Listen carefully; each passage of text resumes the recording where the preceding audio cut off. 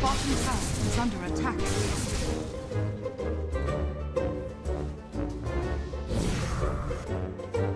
Double damage. Radiant's top tower is under attack.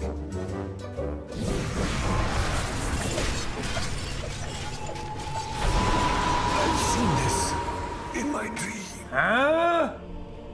Huh? What the fuck?